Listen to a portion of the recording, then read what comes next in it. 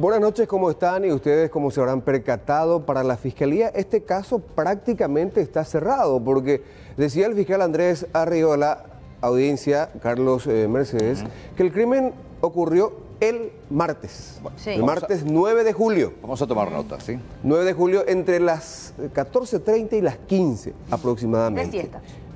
Y que uno de los partícipes, dice, uno de los hermanos Vera, junto con otra persona, y el capataz mataron a todos, mataron a todos. Pero ahora surge una coartada y que genera dudas acerca de la participación verdadera de estos dos señores, de los hermanos José y Carlos Vera Medina. Y vamos a esas imágenes, fotografías, vía WhatsApp, que datan del día martes 9 de julio. 9 de julio. Según testigos, integrantes de la comisión directiva del Club 20 de Mayo, de Teniente Irala Fernández, estas dos personas estuvieron trabajando en la... Vamos con el WhatsApp, Julia, ¿sí? Sí. Las imágenes.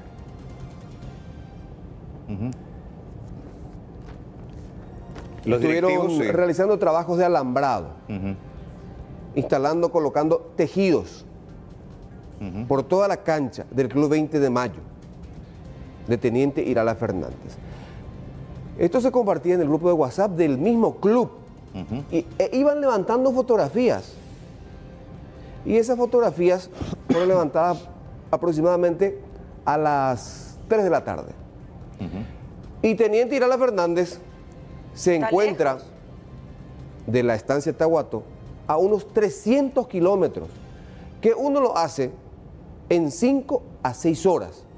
Es decir, si ese martes uno de los hermanos Vera, en este caso José, decidió irse hasta la estancia Tahuató, tuvo que haber llegado a las 9 o a las 10 de la noche. Es imposible, O a sea, no ser que se haya teletransportado. o Ahí que están las el crimen imágenes. no haya sido eh, el martes en ese horario. Porque Pero lo que pasa es que la misma fiscalía, forense- sí. en base al informe forense Sí. y en base a otros testimonios, ratificó hoy en conferencia de prensa, en la misma sede del Ministerio Público, que el cuádruple asesinato se produjo el martes entre las dos y media y las 3 de la tarde. Es imposible, Los presuntos autores estaban a 300 kilómetros de distancia. es imposible. Ahí están las imágenes. Estas son las imágenes, el momento hermanos, en que ellos mismos estaban levantando fotografías. ¿Cuántos Esta son los de testigos? José Vera, por ejemplo, él mismo levanta a las 15 Sí. y 30. En su, en su historia del En WhatsApp. el, no, en el grupo de WhatsApp del Club 20 de Mayo, de Teniente Irala Fernández. Y después hay otra fotografía, porque el fiscal también dice que después de cometer esos asesinatos, los hermanos Vera se quedaron durante toda la semana. Vamos a quedarnos en esa imagen. Durante toda la semana, Hasta el viernes. hasta, hasta desalojar, hasta sacar todos los animales. Y esa imagen que veían de jóvenes sentados data del jueves. Y un comunicador, ahí está, de Radio Paipucú, confirma que los hermanos Vera estuvieron participando de un encuentro de fútbol en Lolita, que está a unos 35 kilómetros más o menos de Teniente Irala Fernández. O sea, Jueves. Jueves. ¿Cómo se explica entonces la teoría del fiscal? Que los hermanos Vera estuvieron toda la semana en la estancia asaltada. Y- pero en realidad aparece una fotografía captada el jueves Bueno, Lolita. se puede- las fotografías, de hecho, que se pueden enviar a través de archivos también que fueron guardados en días diferentes, ¿verdad? Se Totalmente. puede montar, por decirlo de alguna manera. Pero, ¿qué pasa con los testigos? Hay gente que definitivamente los vio ¿Cómo, independientemente cómo a este revertiza el de testimonio de toda una comisión directiva de una institución o testimonio de los jugadores? De esa institución que también estuvieron trabajando, Todos supuestamente. Hay que llamarlos a una declaración testifical, incluso al comunicador que dijo que los vio jugando fútbol ese día jueves. A los dos. A los dos, a los hermanos José y Carlos. Está en comunicación con nosotros Lili Medina, hermana de ambos detenidos. Lili, buenas noches. Muy buenas noches para ti y para ustedes.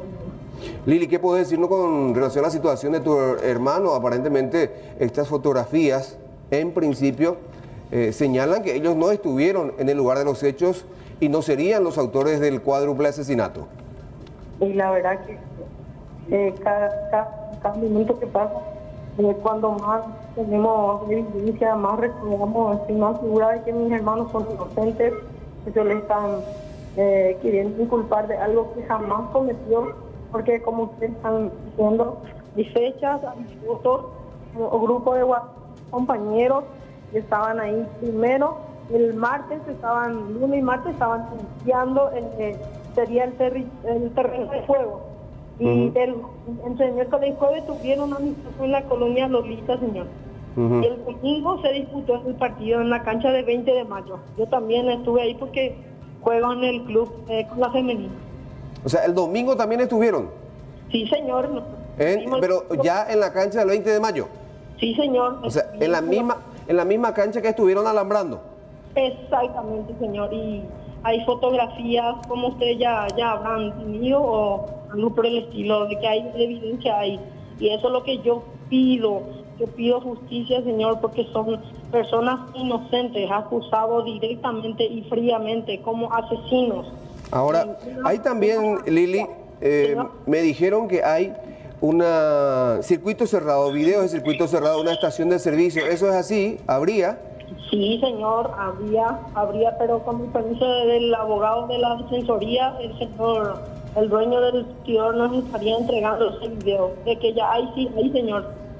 Ajá, que ese día, un día martes, habrían, después de terminado el trabajo en la cancha, se fueron a, tomar un poquito. Sí, y exactamente, a recargar su, este tienen un sabido Ajá, a cargar combustible. Exactamente, señor. Y se quedó ahí el grabado. Lili, ¿qué relación tienen tus hermanos con el capataz?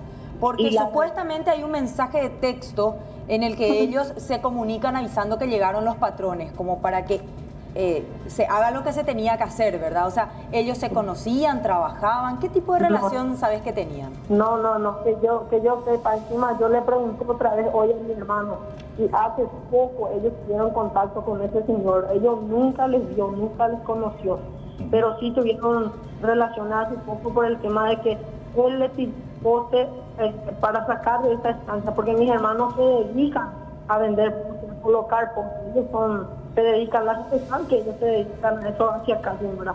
¿Son intermediarios?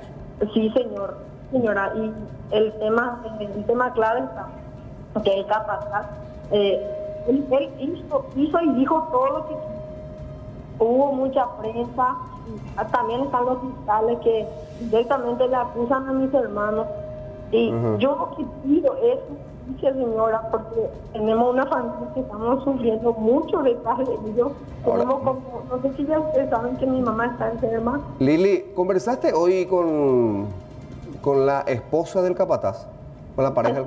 Sí, señor. Hasta, le pude sacar así de cerquita. Yo le dije, señor, así de frente, como una hija, y le dije, ¿en guaraní puedo hablar? Sí, sí claro. Adelante.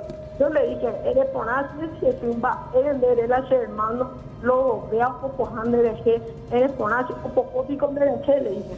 Y me miró, yo me agrimeó todo ella. Y le hizo la otra pregunta que dice, eres o poco pico de que, señora, a frango de cogen y familia, y allí la de y le dije, amana pensando ya, uno poco de ayer para le dije. Y ahí agarré y dice, supuestamente en ese momento la prensa le presionó para hablar aquí. Después agarra y me dice, yo como puedo hablar, si tenemos gente detrás de nosotros que si, si hablamos no tiene problema, me dijo. Y agarré yo llorando, le dije, es, es muy injusto, porque personas inocentes donde vaya que están pecha ahí grave, le dije. Lo único que llegó es ver la una y la verdad, le dije, justamente en ese momento el Señor entró en una pieza para, para para dar más licencia seguro. La fiscalía pasó eso.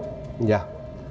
Y me aseguró ella que, que va a decir la verdad a su marido, que ya, ya están, ya están, de hecho que ya van a confirmar que, que no se el tema. Bueno, doña Lili, muchas gracias. Muchas gracias, señor, y gracias por llamar. Ahora, ¿cómo, ¿cómo se explica? Técnicamente probablemente se podrá justificar el tema de las fotografías, pero para eso habría que peritar también los teléfonos celulares de estos hermanos José y Carlos Vera Medina. Para, porque la fiscalía dice que hay mensajes de texto también intercambiados entre los hermanos con el capataz.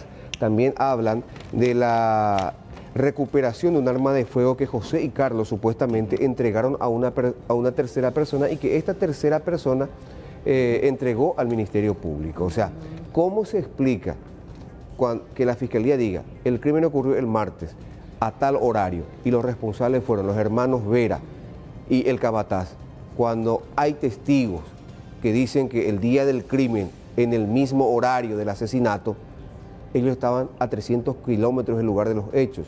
Cuando dicen que toda la semana estuvieron ahí ellos esperando el momento de, sacar todos los animales, cuando hay una fotografía que dicen que estuvieron jugando fútbol un día jueves, o sea, a, mitad de semana, y después que la hermana dice el domingo estuvieron jugando partido en la cancha donde eh, a inicio de semana estuvieron alambrando. De hecho, también, y él insistía en una entrevista que hacíamos anoche con él y publicábamos esta mañana temprano, donde se desligaba totalmente del crimen y decía, mi única relación es que me pidió le haga la mudanza. De alzar sus cosas el viernes y llevarlo hasta Mariscal Estigarribia. Una cosa es que te acusen de haber matado a cuatro personas, que pueden significarte 30 años o más. Si es que te aplican, por ejemplo, medidas de seguridad debido a la alevosía. Y otra cosa es que te señalen de una asociación criminal que puede ser hasta 10 o hurto nada más de ganado. Bueno, terrible. Es muy grave, definitivamente. Las investigaciones corrieron de manera bastante apresurada. En su momento, cuando conocíamos los detalles, rápidamente se dio con la detención de estos dos supuestos implicados. Pero lo cierto y lo concreto es que hoy hay una coartada que se puede comprobar y estas dos personas están privadas de su libertad. Gracias, Aníbal. ¿eh? gracias, gracias por este reporte. De hecho, bueno, con esto ahora eh, creo que es una necesidad imperiosa por parte de la Fiscalía de buscar a esta gente que hoy aparece como testigo para tratar de armar la historia. Y bueno, si, si esa historia que dan los testigos eh, corresponde o no a la versión oficial que ya hoy dio a conocer la Fiscalía. Hay que ser serios. Hay gente culpable que hay que buscar, apresar, condenar, pero también si hay gente inocente, bueno, que prevalezca la inocencia, ¿no? Por supuesto que vamos a ponernos en comunicación con el fiscal estamos tratando justamente de comunicarnos con él para mm. conocer más detalles.